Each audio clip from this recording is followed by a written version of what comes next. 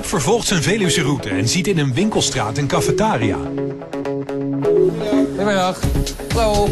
Nou, netjes gemeld bij mijn dame. Nou, die ging eventjes de eigenaar halen. Ja, hij was een, een oudere man. Die kwam aanlopen en zei, joh, hij zegt, eh, ja, welkom. Dus de witte keurmeestersjas gaat aan. En Rob begeeft zich naar de keuken. Goedendag. Ja, top. Het handenwassen begon eigenlijk prima gelijk. Eh, handzeep aanwezig, desinfectant en papier. Top. En Rob zou Rob niet zijn als hij ook niet meteen de hele papierhouder leegtrekt.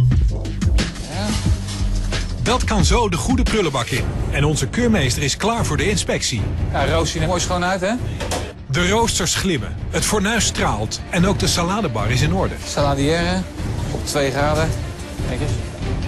En dan is de frituur aan de beurt. Juist in een cafetaria is het van het grootste belang dat daar niets op aan te merken is. Nou, perfect. Ik heb wel wat testjes gedaan, maar was eigenlijk helemaal niet nodig. Dat is prima. Voor in de counter liggen de producten mooi uitgestald. Maar dan draait Rob zich om. Ik weet ook altijd hoe, eh, hoe mensen erbij lopen, hè. persoonlijke hygiëne, maar ook veiligheid. Hè. Nou, jij loopt eh, prima schoeisel, meneer ook. Alleen, alle respect, die schoenen op een werkvloer achter een frituur, dat is natuurlijk wel, moet je oppassen.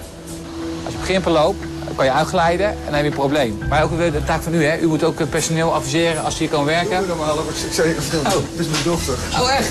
Man, dan moet je helemaal zijn op zijn op je dochter. Dat ben ik ook. Ja, dus ik zeg, eh, regel even andere werkschoenen worden, dan is het helemaal uh, tip-top. Rob inspecteert de achterkant van het cafetaria.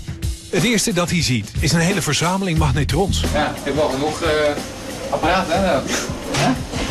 Hij, was, hij was op drukte voorbereid, leuk. En dan ziet Rob een oude bekende. Snijmachine.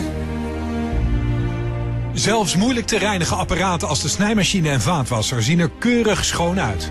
Ik heb overal gekeken, die man was zo enthousiast. Maar hij straalt ook uit.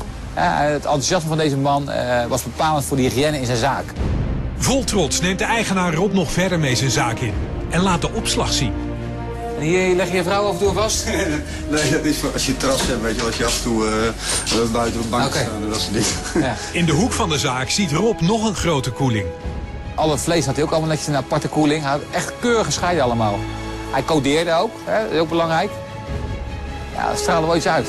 Oké chef, nou, ik heb een ronde mogen lopen met je. Ik vind je erg enthousiast, hè? je bent erg gedreven. Dat, dat komt plezierig over.